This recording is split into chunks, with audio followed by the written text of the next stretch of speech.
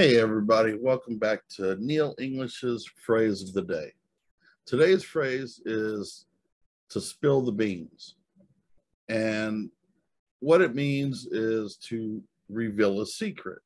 So if you know somebody who has a secret and uh, you want to find out what it is, you just tell the person, come on, spill the beans.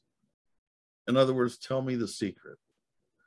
So try to use it, have fun with it, and have a great day. See you next time.